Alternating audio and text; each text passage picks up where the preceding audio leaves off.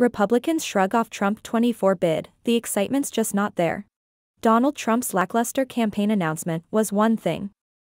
His real problem is fast becoming the collective shrug Republicans have given him in the week plus since.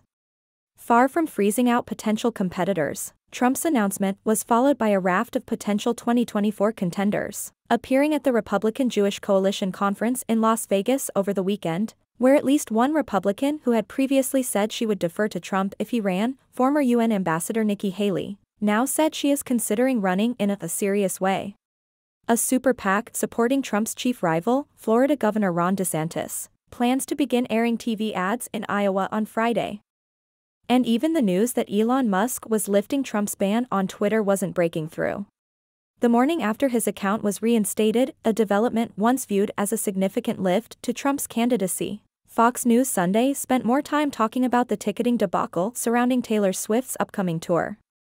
The people talking about Trump's campaign announcement, in my circles, it's almost like it didn't happen, said Bob Vander Plaats, the evangelical leader in Iowa who is influential in primary politics in the First in the Nation caucus state, and who was a national co-chair of Senator Ted Cruz's campaign in 2016. That, uh, to me, is what is telling, where people believe we probably need to move forward, not look in the rearview mirror.